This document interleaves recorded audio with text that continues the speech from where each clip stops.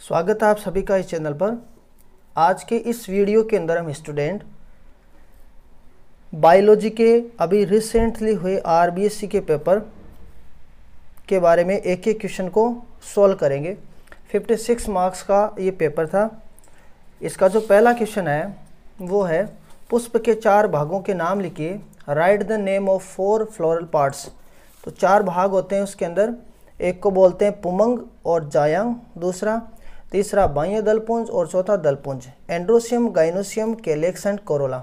इसमें से दो जो भाग हैं, पुमंग जायांग, वो आवश्यक भाग है, और बाह्य दलपुंज और दलपुंज है, सहायक भाग। दूसरा है, मृदा में किस तत्व की कमी के कारण मटर में मार्स रोग होता है? Marsh spot disease of peas caused by deficiency of which element in soil तो इसका आंसर होगा मैग्नीज एम एन इसका आंसर होगा मैग्नीज। नेक्स्ट क्वेश्चन है अपारगम्य झिल्ली के दो उदाहरण लिखिए। Write the name of two example of impermeable membrane impermeable जो मेम्ब्रेन है, उसके दो एग्ज़ाम्पल है, एक को बोलते हैं उपत्वचा। उपत्वचा को बोलते हैं क्यूटिकल और दूसरा होता है कॉर्क या काग। ठीक है? नेक्स्ट क्वेश्चन है, एक वृद्धि अवरोधक हार्मोन का नाम लिखिए। तो वृद्धि अवरोधक हार्मोन का नाम है A B abscisic acid next है फिफ्थ क्वेश्चन कपास की गोलक स्लब के प्रति प्रतिरोधी आनुवांशिक रूपांतरित किस्म का नाम बताइए। Write the name of bollworm resistant genetically modified variety of cotton तो इसका आंसर होगा बीटी कॉटन नेक्स्ट क्वेश्चन है सिक्स नारियल तेल प्राप्ति के लिए नारियल फल का कौन सा भाग उपयोगी है? Which part of coconut fruit is use to yielding coconut oil तो इसके लिए काम में लिया जाता है ऑयली एंडोस्पम जिसको खोपरा भी बोला जाता है, उसको काम में लिया जाता है। नेक्स्ट क्वेश्चन है, क्वेश्चन नंबर सेवन। मानव मानव त्वचा के लिए कौन सा विटामिन संश्लेषित किया जाता है? मानव त्वचा के द्वारा। Which vitamin is synthesize by human skin? तो आंसर होगा इसका विटामिन डी। नेक्स्ट क्वेश्चन है, कौन सा दृष्टि रंजक जंतुओं को मंद प्रकाश में देखने में सहायक है?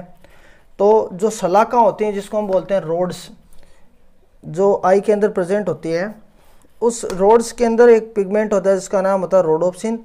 उसी रोडोप्सिन के कारण हम क्या कर सकते हैं? डिम लाइट में देख सकते हैं। नेक्स्ट क्वेश्चन नंबर नाइन है।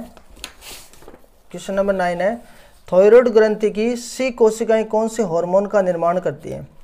Which hormone is synthesized by the C cell of thyroid तो थायराइड जो है, उसकी जो सी सेल हैं, वो रिलीज़ करती हैं किसको? कैल्सिटोनिन को। कैल्सिटोनिन को। कौन से रोग से बचाव के लिए व्यक्ति को टी ए बी का टीका लगाया जाता है? For the prevention of which disease a person should be vaccinated with T A B तो टी ए बी के लिए लगाया जाता है, कौन सी डिज़ीज़ के लिए लगाया जाता है? मोती जरा इसको बोलते हैं टाइफाइड ठीक है? कब्जा संधि का एक उदाहरण बताइए। Write an example of hinge joint देखो हिंज जॉइंट इन जगह पे प्रेजेंट रहता है। इनमें से आप कोई भी एक लिख सकते हो। पहला है कोनी एल्बो घुटने। जिसको बोलते हैं नी, अंगुलियाँ, फ्लेंजेज, एटलस, अनुकपाल अस्तिकन ऑसिपेटल कॉन्डाइलस। ये इसके एग्ज़ाम्पल हैं। इनमें से कोई भी आप एक लिख सकते हो। नेक्स्ट क्वेश्चन है गेस्टुला भवन को समझाइए। एक्सप्लेन गेस्टुलेशन गेस्टुलेशन क्या बताता है? कोरक पुट्टी से तीन जनन स्तरों का निर्माण। तीन जनन स्तर कौन से हैं? एक्टोडम मिजोडम और endoderm so formation of three germ layer from blastocyst the germ layer are ectoderm mesoderm and endoderm is known as gastrulation next question है ईसीजी का पूरा नाम बताइए। ईसीजी का पूरा नाम होता है electroencephalography electroencephalography next question है, जीवाणु भोजी को परिभाषित कीजिए, एक उदाहरण दीजिए। तो जीवाणु भोजी क्या होते हैं? वे वायरस जो जीवाणु को संक्रमित करते हैं। Those virus which infects bacterias are known as bacteriophage इसके दो एग्ज़ाम्पल हैं लेमडा एंड एम थर्टीन इन दोनों में से कोई भी आप एक लिख सकते हो। आगे क्वेश्चन है, और में जो दिया गया है, चिकित्सा के क्षेत्र में जैव प्रौद्योगिकी के दो महत्व बताने आपको। Write two importance of biotechnology in medical field medical field में दो हैं। फ़र्स्ट क्या है? आनुवांशिक रोगों के उपचार में जीन उपचार की तकनीक। जो जीन थेरेपी होती है उससे जेनेटिकली जो डिज़ीज़ होती है जेनेटिक डिज़ीज़ उसको ट्रीट किया जा सकता है। नेक्स्ट उसका ट्रीटमेंट हो सकता है। नेक्स्ट है रोगों की रक्षा के लिए खाद्य टीके जो फ़ूड वैक्सीन है उसको भी यूज़ में लिया जाता है डिज़ीज़ से बचाने के लिए। सो so, ये मेडिकल की फ़ील्ड में दो इसके यूज़ हो गए। नेक्स्ट क्वेश्चन जो है वो है मध्य चक्र तथा आर्थ चक्र में अंतर बताइए। Write difference between oestrous cycle and menstrual cycle इन दो के अंदर आपको डिफरेंस बताने हैं। सो so, ये इसका आंसर है। ये चक्कर पहला डिफरेंस क्या बताता है इसमें?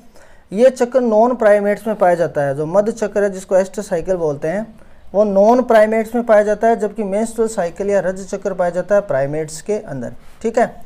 एग्ज़ाम्पल बता रखे हैं गाय भेड़ कुत्ता और इसके अंदर एग्ज़ाम्पल बंदर ऐप मानव आदि। ठीक है? सेकेंड ब्लड फ्लो नहीं होता है। इसके अंदर जो ब्लड का फ्लो है, रक्त स्त्रवण नहीं होता है। जबकि मेंस्ट्रुअल साइकिल के अंदर क्या होता है? ब्लड का फ्लो होता है। ठीक है? थर्ड बता रखा लैंगिक सहवास सेक्स अर्ज़ इसके अंदर होता है, बढ़ता है और इसके अंदर क्या होता है? मेंस्ट्रुअल साइकिल के अंदर कम होता है। जो लैंगिक सहवास या सेक्स करने की जो टेंडेंसी होती है, वो इसमें बढ़ती है, जबकि इसके अंदर क्या होती है? कम होती है। नेक्स्ट कम अवधि शॉर्ट फ़ेज़ ठीक है? ये कम फ़ेज़ का होता है शॉर्ट फ़ेज़ का होता है, कम समय का होता है और इसको हीट फ़ेज़ भी बोलते हैं। जबकि अधिक अवधि की अलग अलग प्रावस्थाओं में, एक पर्टिकुलर टाइम पीरियड के अंदर क्या होता है? मेंस्ट्रुअल साइकिल आता है और इसका टाइम पीरियड क्या रहता है? मेस्ट्रल इसके अष्ट एस्ट साइकिल के कंपैरिजन में क्या होता है? ज़्यादा होता है। ठीक है? नेक्स्ट जो क्वेश्चन है नेक्स्ट क्वेश्चन है, मधुमक्खी की एक जाति का नाम लिखिए। मधुमक्खी पालन के दो उपकरणों के नाम लिखिए। Name of a species of honey bee and write name of two appliances for apiculture apiculture तो इसके लिए क्या काम है लेते हैं? वेराइटी का नाम है एपिस इंडिका या भारतीय मोना मक्खी इसकी चार वेराइटी हैं।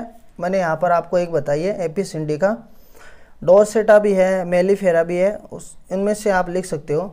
अब ये जो उपकरण है, इनमें से आपको क्या करना है? कोई भी दो उपकरण बताने हैं। दो में से आप कृत्रिम मधुमक्खी पेटिका बॉक्स हाई बोलते हैं। कॉम्ब फाउंडेशन भी काम में ले सकते हैं। मधु निष्कासन उपकरण, ठीक है? तो हनी एक्सट्रैक्शन अप्लायंसेज ऑपरेटस टोपी खोलने का चाकू एंड केपिंग नाइफ ये चार हैं। इनमें से आपको कोई भी दो लिखने थे।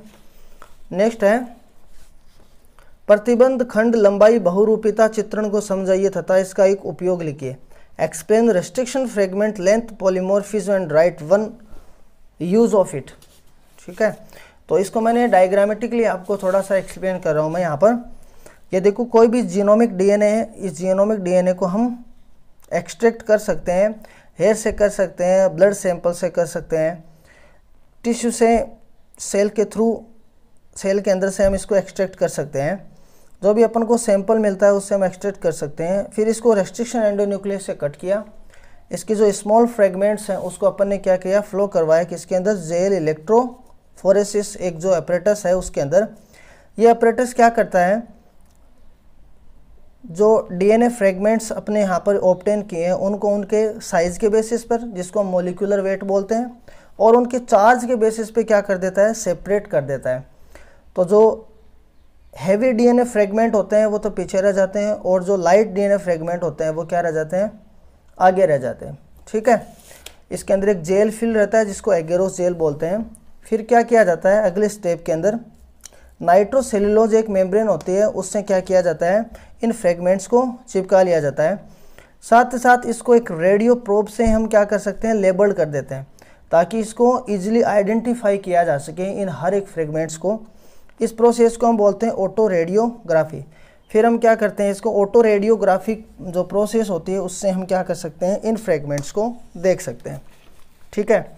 अब इसका आपको एक बताना यूज़ भी बताना है इसका। तो इसका यूज़ क्या है? विभिन्न जातियों तथा प्रभेदों का आपसे संबंध निर्धारण। तो जो जातियाँ होती हैं या उसके जो स्ट्रेन होते हैं, उनके बीच में क्या रिलेशनशिप है, उसका डिटर्मिनेशन या उसका पता लगाने के लिए हम इसको काम में लेते हैं। नेक्स्ट जो क्वेश्चन है, वो है जेवनाशी क्या है? बेसलस थोरेंजियसिस का जेवनाशी के रूप में किस प्रकार उपयोग किया जाता है? What is biopesticide how Bacillus thuringiensis is use to biopesticide ये देखो सिंपल सा इसके अंदर।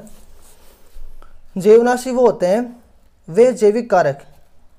बायोलॉजिकल फैक्टर एग्ज़ाम्पल बता रखा, जीवाणु, कवक वायरस प्रोटोजोआ जिनका उपयोग कीटों, खरपतवारों, रोगजनकों को नष्ट करने में किया जाता है। सो बायोलॉजिकल फैक्टर बैक्टीरिया हो सकता है, फंजाई हो सकता है, वायरस हो सकता है, प्रोटोजोन हो सकता है, उससे हम वीड्स, इंसेक्ट एंड कोई भी पेथोजन है, उसको ख़त्म करने के लिए काम में ले जाते हैं, उसको हम क्या बोलते हैं, बायोपेस्टिसाइड। जैसे बता रखा है, बेटी कॉटन जिससे मिलती है, बेटी ये बेसलस थोरेंजियसिस बैक्टीरिया है। इसकी जो क्रिस्टल प्रोटीन है, ये इस क्रिस्टल प्रोटीन से जो स्पोर बनते हैं, इससे हम क्या कर सकते हैं, इंसेक्ट के जो एग है, उसको डिस्ट्रॉय कर सकते हैं। तो ये इसका एक बायोपेस्टिसाइड के रूप में काम हो गया, क्योंकि ये जीवाणु है और ख़त्म किसको कर रहा है? इंसेक्ट को। तो कोई भी लिविंग ऑर्गेनिज्म किसी दूसरे लिविंग ऑर्गेनिज्म को अगर फिनिश कर रहा है तो अपन ने उसको क्या बता दिया? बायोपेस्टिसाइड ठीक है? नेक्स्ट क्वेश्चन बता रखा है। इसको आपको क्या करना है? मैच करना है। पार्ट फ़र्स्ट से पार्ट सेकंड को। पहला इसके अंदर ए बता रखा है मूंज, दूसरा बता रखा है लौंग, तीसरा बता रखा काली मिर्च और चौथा बता रखा है सौंफ। अब इसके अंदर बी ऑप्शन के अंदर ये चारों दिए गए हैं। सबसे पहले आपको सभी को पता है मूंज काम में लिया जाता है, एक रेस से युक्त पर्ण है, जिससे मूंज बनती है। उसके बाद में लौंग बता रखा है। लौंग क्या होती है? शुष्क होती है पुष्पकली का लौंग होती है शुष्क पुष्पकली का सौंफ होती है, वो क्रीमोकार्प होता है, एक तरीके से फ्रूट है, क्रीमोकार्प टाइप का फ्रूट। और काली मिर्च होती है, वो क्या होती है? अपरिपक्व, शुष्क, ड्रूप फ्रूट। ठीक है? ये ड्रूप टाइप का होता है, जिस तरीके से नारियल होता है, उसी तरीके से ये भी ड्रूप फ्रूट का एक एग्ज़ाम्पल है। ठीक है? नेक्स्ट क्वेश्चन देखते हैं हम इसके अंदर। बीस नंबर का क्वेश्चन है, हृदय तथा परिसंचरण तंत्र संबंधी दो रोगों के नाम बताने explain to disease to disorder related to heart and circulatory system so इसके अंदर बता रखा है मैंने, तीन लिख रखे हैं, इसमें से आपको दो बताने हैं। पहले का नाम है हृदय सूल, जिसका नाम है एंजिना, दूसरे का नाम है हृदयपात जिसको हार्ट फेलियर बोलते हैं। तीसरे का नाम है, इसके अंदर हृदय अवरोध हार्ट बैरियर ठीक है? फिर उसके बाद में बता रखा है क्रिया दर के आधार पर एंजाइम के नामकरण पद्धति को समझाइए। Explain nomenclature of enzyme on the basis of chemical reaction तो केमिकल रिएक्शन के बेसिस पे देखो, हमने यहाँ पर तीन बता रखे हैं, सुक्रेस माल्टेज और लाइपेज ये तीन एग्ज़ाम्पल हैं। ये सुक्रेज काम करता है सुक्रोज शर्करा के ऊपर माल्टेज काम करता है माल्टोज शर्करा के ऊपर, और लाइपेज काम करता है इसके ऊपर लिपिड के ऊपर। तो इस तरीके से ये तीनों तो क्या हो गए? सबस्ट्रेट हो गए, और ये तीनों क्या हो गए? इसके एंजाइम हो गए। तो ये एंजाइम इस सबस्ट्रेट को जो कॉम्प्लेक्स फॉर्म है, उसको किसमें कन्वर्ट कर देगा? सिंपल के अंदर। ठीक है? उसके बाद नेक्स्ट बता रखा है क्लाइकनिंग जिसको बोलते हैं क्लिंगनिंग किसे कहते हैं? मानव की भ्रूणीय अवस्था में तीसरे से छठे सप्ताह के गर्भकाल में कौन कौन से अंगों का निर्माण होता है वो बताना आपको। क्लैंगिंग क्या होता है? माँ को शिशु की हलचल का स्पष्ट रूप से पता चलना। और फ़र्स्ट टाइम जब माँ को पता चलता है शिशु की हलचल का, उसको हम क्या बोलते हैं? क्लिंगनिंग तीन से छः वीक के अंदर क्या क्या होता है देखो। ये बता रखा है एक्टोडम और मिजोडम दो परत बनती हैं लेयर बनती है। अट्ठाईसवें दिन हृदय का धड़कना प्रारंभ होता है। मस्तिष्क का तीव्र विकास होता है, जिसको हम न्यूरोलेशन बोलते हैं। लंग्स तथा किडनी का दिखना स्टार्ट हो जाता है। एमनियोटिक फ्लूड की मात्रा क्या हो जाती है? बढ़ जाती है। और जो फेरेंजियल जो आर्क होता है ग्रसनी चाप होता है, उसका बनना भी क्या हो जाता है? प्रारंभ हो जाता है। इस तरीके से ये क्वेश्चन हो गया। उसके बाद में क्वेश्चन नंबर बता रखा है इसके अंदर। 23 23 बता रखा है। सह प्रभाविता को उदाहरण द्वारा समझाइए। एक्सप्लेन को डोमिनेंस विथ एग्ज़ाम्पल तो को डोमिनेंस बता रखा है। को का मतलब क्या होता है? साथ में। डोमिनेंस का मतलब हो गया प्रभावी। तो इसका मतलब दोनों अपना इक्वल कंट्रीब्यूशन देते हैं किसी भी कैरेक्टर के लिए। किसी भी लक्षण को प्रदर्शित करने के लिए। जैसे यहाँ पर लाल प्रदर्शित कर रखा, कैपिटल आर कैपिटल आर से, और स्मॉल आर स्मॉल आर से प्रदर्शित कर रखा है सफ़ेद को। यहाँ से इसका जो गेमेट है वो कैपिटल आर हो गया, इसका क्या हो गया? स्मॉल आर नेक्स्ट जो प्रोजेनी आई आनी चाहिए थी रेड क्योंकि दोनों का इफ़ेक्ट में से एक जो डोमिनेंट है वो इफ़ेक्ट करना चाहिए, लेकिन यहाँ पर क्या आ रहा है? रोइन जिसको हम क्या बोलते हैं? चितकबरा। ये किसके अंदर बता रखा है? स्किन कलर इन कैटल फिर वापस से जब एफ़ एफ़ टू प्रोजेनी इसकी प्रोड्यूस की तो अपने पास जो रेशो आता है, वो क्या आता है? वन टू वन एक लाल हो गया, दो इसमें चितकबरा हो गया और एक सफ़ेद हो गया। इस कंडीशन के अंदर ये मेंडेलियन लो को फॉलो नहीं करता है, क्योंकि मेंडेलियन फिनोटाइपिक जो कैरेक्टर आता है, वो आता है three ratio one three ratio one जो आता है लक्षण प्ररूप उसको फॉलो नहीं करता है, इसलिए ये क्या हो गया? एक तरीके से एक्सेप्शन हो गया, अपवाद हो गया मेंडेलियन लो का। नेक्स्ट क्वेश्चन है ट्वेंटी फोर टिटनक्स रोग के रोग कारक का नाम बताइए। Write the pathogens of tetanus, tetanus. इस रोग का एक लक्षण तथा बचाव का एक उपयोग, बचाव का एक उपाय बताइए। Mention one symptom and prevention measure of it ठीक है? तो टिटनस का हो गया रोग कारक क्लोस्टेडियम टिटेनी लक्षण क्या हो गया? शरीर में एंठन और सिर दर्द। और बचाव क्या हो गया? प्रतिरोधी टीके, जिसको टिटनस एंटीटॉक्सिन बोलते हैं। ठीक है? 25 जो क्वेश्चन है 25 नंबर। कोशिकीय भ्रूणपोष की संरचना को सचित्र वर्णन कीजिए। Describe the structure of cellular endosperm with diagram ठीक है? सेलुलर एंडोस्पम बड़ा सिंपल सा है। इसके अंदर क्या होता है? एक पूरी एंटायर स्ट्रक्चर के अंदर पहले क्या होते हैं? हर एक विभाजन के साथ में कोशिका भित्ति बनती जाती है। तो जिस तरीके से एक एंडोस्पम होता है ट्रिपलोइड स्ट्रक्चर होता है ट्रिपलोइड ट्रिपलोइड स्ट्रक्चर होता है। जैसे जैसे इसके अंदर डिवीज़न होता है हर एक सेल में डिवीज़न के साथ कोशिका भित्ति बन जाएगी। तो होस्टोरियम भी बनता है, जिसको चुस्कांग बोलते हैं, जिससे फ़ूड को, नरिश, नरिशमेंट को एम्ब्रियो को ट्रांसफ़र किया जाता है। ये प्रेजेंट होता है गेमोपेटली के अंदर। गेमोपेटली, पॉलीपेटली, ये जो टाइप हैं डाइकोटिलेडन के, उसके एग्ज़ाम्पल हैं। एक एग्ज़ाम्पल दे रखा है इसके अंदर बर्बेस्कम उसके अंदर ये प्रोसेस होती है जिसको हम सेलुलर एंडोस्पम बोलते हैं। ये इसका डायग्राम है जिसमें हर एक सेल डिवीज़न के बाद बनने वाली कोशिका के साथ में उसकी कोशिका भित्ति भी बन जाती है। ठीक है? नेक्स्ट क्वेश्चन है। जीन विनिमय को परिभाषित कीजिए। जीन विनिमय को सचित्र समझाइए। Define crossing over explain crossing over with diagram तो क्रॉसिंग ओवर को डायग्राम से आपको बताना है। क्या होता है देखो?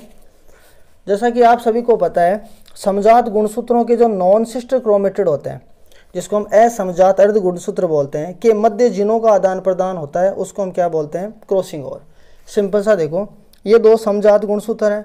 ये समझात गुणसूत्रों में इस समझात गुणसूत्र के ये दो अर्ध गुणसूत्र है, जिसको क्रोमेटेड बोलते हैं। और इस समझात गुणसूत्र का ये दोनों गुणसूत्र क्या हो गए?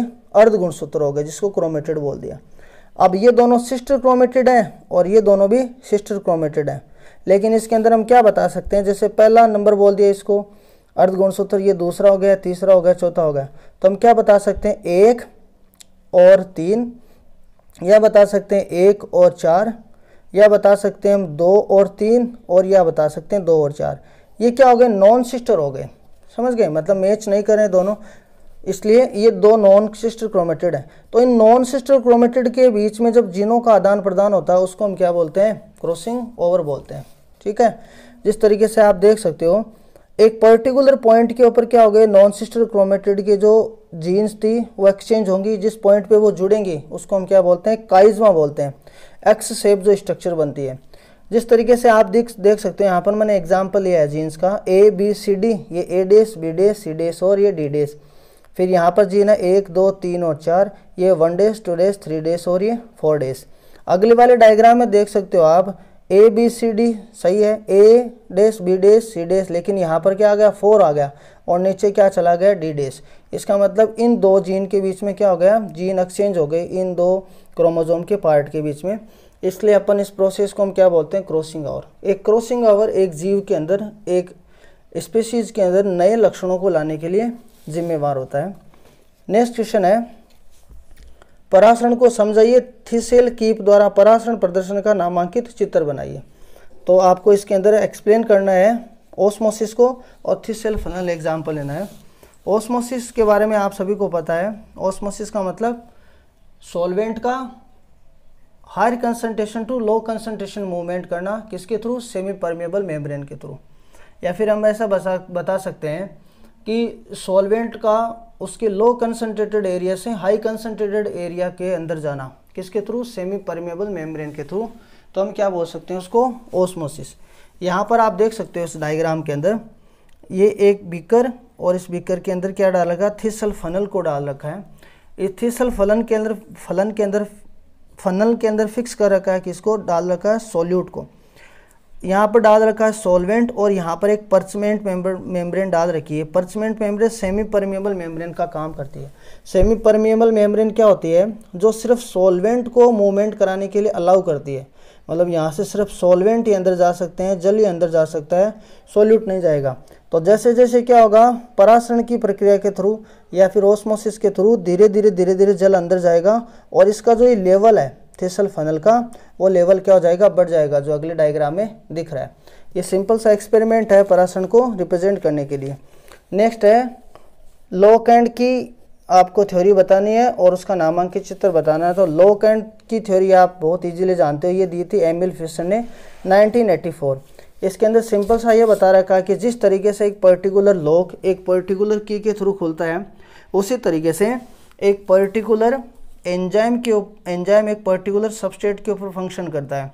अगर वो सबस्टेट उसको नहीं मिलता है तो वो एंजाइम उसके ऊपर फ़ंक्शन नहीं कर पाएगा। ठीक है? इस तरीके की ये थ्योरी थी। नेक्स्ट है आपके क्वेश्चन ट्वेंटी एट ठीक है? अब ये थोड़ा बड़े क्वेश्चन है, इसके लिए अलग से वीडियो बना दिए जाएँगे। लेकिन इसमें से जो बताने वाला पोर्शन है, वो बताऊँ आपको। हेच एंड स्केल स्लेक चक्र कौन से पादवों में होता है? तो एक बीज पत्री अगर बताना चाहो, आप मोनोकोट तो बता सकते हो शुगर केन और बाजरा, गन्ना और बाजरा, और द्विबीज पत्री बताना चाहो तो बता सकते हो आप अमरेंथस और यूफोरबिया। फिर हम बात करते हैं इसके और में दिया हुआ अमोनीकरण किसे कहते हैं? तो अमोनीकरण सिंपल सा है। कार्बनिक पदार्थों के विघटन से अमोनिया का निर्माण करना। Formation of ammonia by the decomposition of organic material is known as ammonification. ठीक है? फिर बता रखा ट्वेंटी नाइन के अंदर ट्वेंटी नाइन जो क्वेश्चन है मानव कर्ण की आंतरिक संरचना का नामांकित चित्र, सुनने की क्रिया और यहाँ से रिलेटेड देखो दो रोग पूछ रखे हैं, वो बता देता हूँ आपको। एक का नाम है मेनियर्स और एक का नाम है कर्णसोत एक का नाम है लेबरिन थाइसाइसिस इसके अंदर आप एक बता सक, इसमें दो बताने आपको, कोई भी दो आप बता सकते हो। नेक्स्ट बता रखा डिफाइन रिफ्लेक्स एक्शन, ठीक है? किसी भी उद्दीपन के कारण शरीर में होने वाली तीव्र अनिच्छिक क्रिया अनिच्छिक क्रिया का मतलब नॉन वॉलेंट्री जो एक्शन होता है बॉडी के अंदर, जो किसी भी स्टिमुलस के अकॉर्डिंग होता है, उसको हम क्या बोलते हैं? प्रतिवृत्ति क्रिया या रेफ्लेक्स एक्शन तो इस पेपर में बताने योग्य जितना पोर्शन था वो मैं आपको बता चुका हूँ। आशा करता हूँ आप सभी के बहुत अच्छे मार्क्स आएँगे। इस पूरे एनालिसिस से आप अपने मार्क्स को देख सकते हैं कि आपके कितने मार्क्स बन रहे हैं। आई होप ये वीडियो आपको पसंद आया होगा। Thank you thank you so much